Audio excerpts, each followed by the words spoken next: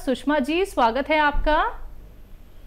नमस्कार मैम। जी नमस्कार। आप कहाँ से बात कर रही हैं? मैम मैं हरियाणा अम्बाला से बात कर रही हूँ। जी मैम आपका सवाल। हाँ जी मैम सर को नमस्कार मेरा।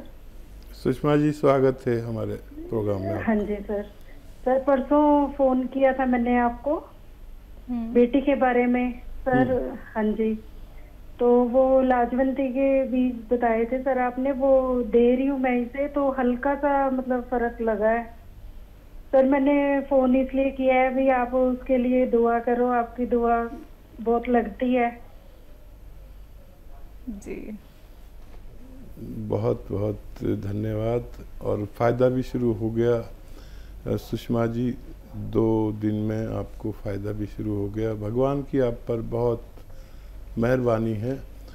और जिन पर भगवान की मेहरबानी होती है, वो लोग इस लायक होते हैं कि उनसे दुआ के लिए कहा जाए। तो मैं आपसे प्रार्थना करता हूँ कि मेरे लिए भगवान से प्रार्थना करें कि मैं आपकी सेवा और ज़्यादा कर सकूँ। बहरहाल, आपने मुझसे कहा है। तो देखिए, मेरे प्रोग्राम में या मुझमें और दूसरे लोगों में यही फ़र्क है कि आप मुझसे दुआ के लिए कहें या ना कहें, मैं आप लोगों के लिए अपने, यानी मशवरे के साथ दुआ भी खामशी से करता हूँ और रोज़ करता हूँ कि भगवान, मेरे साथ जो वीवर्स जुड़े हुए हैं, अगर तुझे मेरी लाज रखनी है तो मेरे बताए हुए मशवरे में उनको फ़ायदा लिख दे, उनको हुक्म दे दे उन दवाओं को, उन मशवरों को, कि उन मरीज़ों को फ़ायदा दे दे। शायद इसी का असर हो। और मैं विशेष दुआ भी करूँगा कि आपके बच्चे को फ़ायदा हो जाए। जी। दिल्ली से हैं लाजवंती जी, स्वागत है आपका। हेलो। लाजवंती जी आपको मेरी आवाज़ मिल पा रही है? हाँ जी हाँ जी नमस्कार। जी नमस्कार मैम। हाँ नमस्कार नमस्कार गुरु जी आपका तो नाम लाजवंती जी दवाओं वाला नाम है। पहले भी शायद बात हुई है आपसे।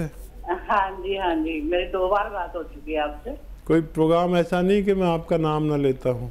हाँ पहले मेरा नाम आपने गलत किया था लता नाम लिया था। जी।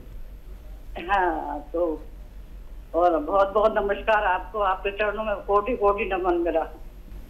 स्वागत आपका। बहुत हाँ मैं पूछना चाह रही थी मेरे तीन सवाल हैं आपसे। हम्म। एक तो जो गोन मोरिंगा है तो ये सफ़ेद वाला जो आप देते हैं तो मैं हमने जो पेड़ से निकाला है वो तो थोड़ा ब्राउन कलर का होता है। और जो काला गोंद है ये कौन से पेड़ का होता है? ठीक है। और एक मेरे दामाद के दोस्त हैं उनकी उम्र हो गई कोई पचपन छप्पन साल है उनके पैर में गैंग्रीन हो, हो गया है। उनके पैर का काटने की नौबत आ गई तो उनके लिए कोई इलाज हो तो बताइए आप प्लीज़ ठीक है। अच्छा देखिए जो गौन मोरिंगा है ये जब फर्टिलाइज़र में पैदा होता है तो ऐसा होता है जैसा आपको मिलता है पेड़ से और वो प्रोसेस प्रोसेस नहीं हुआ होता। तो उसको लोग इस्तेमाल करते हैं। ये जो गौन मोरिंगा है इसको जब हम तीन साल तक किसी खेत में फर्टिलाइज़र नहीं डालते और गोबर की खाद और ऑर्गेनिक खाद जो डालते हैं जिसे ऑर्गेनिक कहते हैं तो वो ऐसा होता है जैसा मैं बताता हूँ। और जो आप बता रही हैं वो, फर्टिलाइज़र वाला है जो प्रोसेस भी नहीं हुआ होता। हम जो देते हैं, वो एक प्रोसेस वाला होता है और उसी को असली माना जाता है। असली इसको भी माना जाता है, लेकिन ये किसी काम का नहीं है। सिवाय इसके कि आपको विटामिन सी वगैरह दे दे। और दूसरा सवाल आपका कि कौन, सियाह कौन से पेड़ से आता है? ये आबनूस का पेड़ होता है। इस पेड़ से कभी किस ज़माने में जब मेटल नहीं था मेटल की बांसुरी वगैरह मेटल का प्रयोग शुरू नहीं हुआ था, उस ज़माने में इसकी लकड़ी से बांसुरी बनती थी। ये बिल्कुल काला होता है, काली बांसुरी होती थी और अब मेटल वगैरह चल पड़े हैं, लेकिन अभी भी किसी किसी के पास वो बांसुरी मौजूद रहती है, एक बिल्कुल काले रंग का पेड़, जिससे काला गोंद निकलता है, उसे ही गोंसिया कहते हैं। और एक कोशिश कर सकते हैं, वादा कुछ नहीं। उनको डॉक्टरों की दवाओं के साथ आप अलसी को हल्का सा भून लें और एक चम्मच अलसी खिलाएँ मरीज़ को और एक चुटकी नमक जैतून, एक चुटकी खाने का सोडा, दो गिलास पानी में मिलाकर एक चम्मच अलसी दें। एक टाइम दिन में या दो टाइम लगातार दें। कुछ फ़ायदा हो तो हमसे आप बात करते रहें वरना आप डॉक्टरों की बात मान सकते हैं। जी। जम्मू से है अनीता कुमारी जी स्वागत है आपका। हेलो मैडम नमस्कार। जी नमस्कार सर। मैडम हम हकीम सुलेमान जी का प्रोग्राम देखते हैं। हम नंबर की को मैं मिला रहा था मिल नहीं रहा था। आप आपके सामने हाजिर हूँ बताइए क्या सवाल है? सर हमने मंगवाना था नमक जैतून जैतून का सिरका गोन मरिंगा गोन सिया।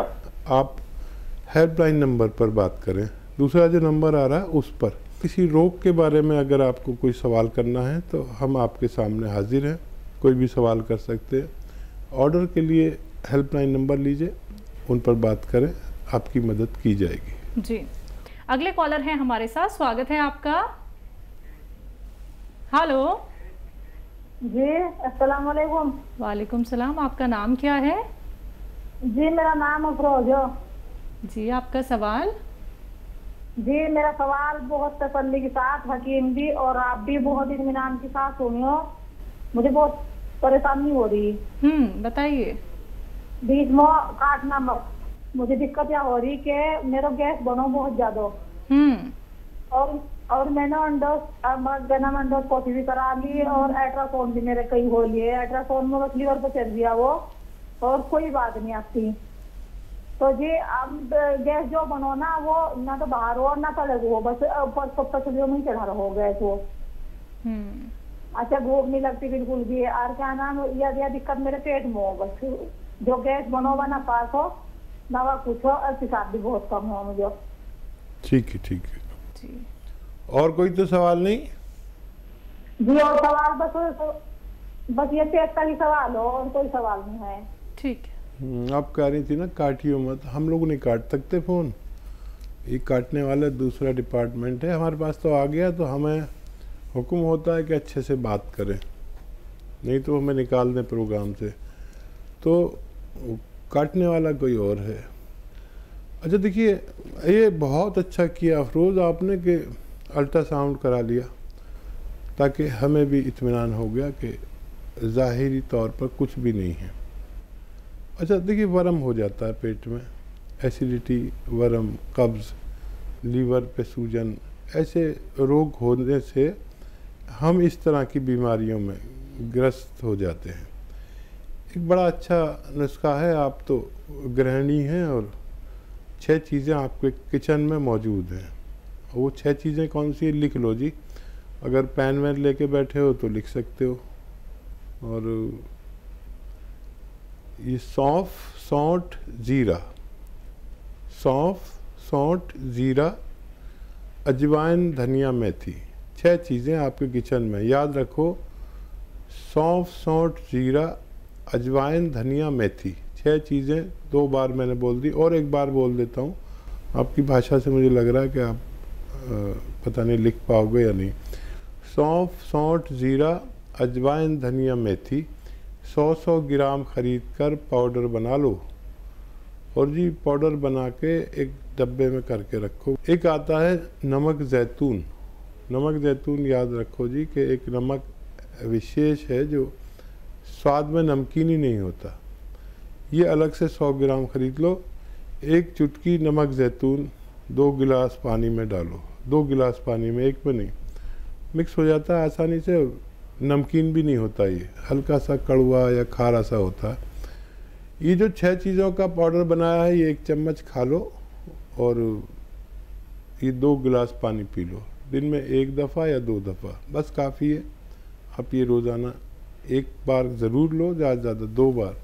आपको फ़ायदा होना मुमकिन है। बिल्कुल।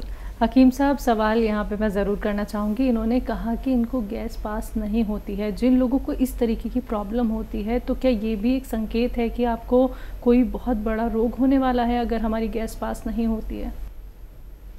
और देखिए एक सिस्टम कहते हैं जो भी काम नहीं हम्म, होता उसमें कोई भी खतरा हो सकता है। ये गैस इतनी पावर होती है कि ये कहीं भी परेशान कर सकती है। इसको लेने से सबसे पहले तो आपको गैस ही पास होने लगती है। आधा एक घंटे में आपको अच्छे से गैस पास होगी। जो लेट्रिन है वो आगे सरकना शुरू हो जाती है। और वरम हो तो वो दूर होने लगता है, कहीं भी सेलिंग हो जाती है ना वरम।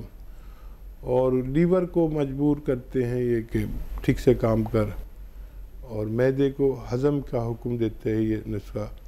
और आंतों में बल देते हैं कि वो जल्दी से गैस पास करके इसको सही वक्त पर लैट्रीन हो जानी चाहिए। ये इन्फेक्शन भी दूर करता है वर्म भी दूर करता है लीवर को भी ख्याल रखता है स्किन का भी ख्याल रखता है सेहत का भी ख्याल रखता है। आप इसे इस्तेमाल करें आप इसे फ़ायदा उठा सकते हैं। जी। बीना वर्मा जी जुड़ गई हैं हमारे साथ। स्वागत है आपका। नमस्ते मैम। जी नमस्कार। मैम हाँ मेरे दो सवाल हैं। पूछिए। मैम मैंने गोंद सिया लिया था हम्म। और उसको एक महीना हो गया लगभग खाते हुए। हम्म। तो मैम वो अलसी के साथ मैं ले रही हूँ। मेरे पैर सुबह बहुत टाइट हो जाते हैं चलना मुश्किल हो जाता है पैर पैर मुड़ते नहीं हैं। और दूसरा सवाल मेरे मेरे लड़की के थायराइड है। हम्म। और उसके बॉडी में स्ट्रेच मार्क्स पड़ रहे हैं। स्ट्रेच मार्क्स तो बॉडी उसका कोई इलाज है? ठीक है मैम। जी अच्छा ये बताइए ये जो पैर टाइट हो जाते हैं पहले भी होते थे या अभी हो रहे हैं आपके? आप हैं लाइन पे क्या? मैम आप बात कीजिए बीना जी। जी जी जी। मैम ये बताइए कि आपके पैर पहले भी टाइट रहते थे या अभी हुए हैं? नहीं डॉक्टर भैया मेरे चार छह साल से हो रहा है ऐसा।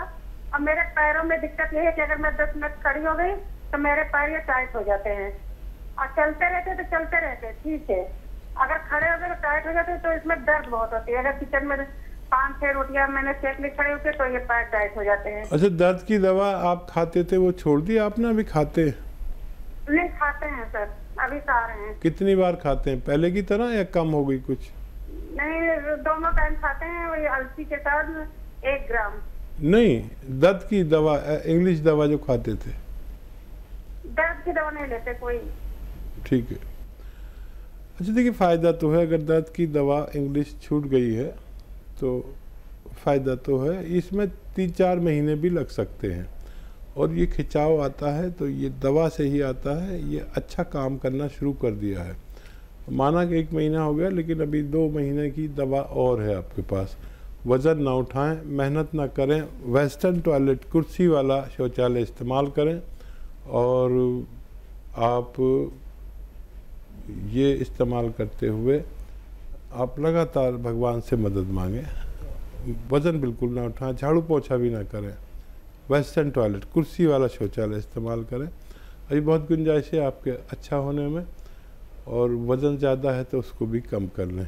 जिनको वो निशानात आ गए हैं, उनके लिए आप अलसी और इसको हल्का सा भून कर, अलसी को अ, एक चम्मच अलसी और एक चुटकी नमक जैतून के पानी के साथ रोज़ाना एक बार लिया करें। उनको फ़ायदा होना मुमकिन है। थायराइड हकीम साहब अगर थायराइड भी है तो एक चम्मच धनिया आधा चम्मच अलसी और एक चुटकी नमक जैतून। लगातार दिन में दो बार सुबह निहार में और रात को सोते वक्त दें तो उनके भी दोनों रोगों में फ़ायदा होना मुमकिन है, लेकिन जल्दी मत करना। सात आठ महीने भी लग सकते हैं।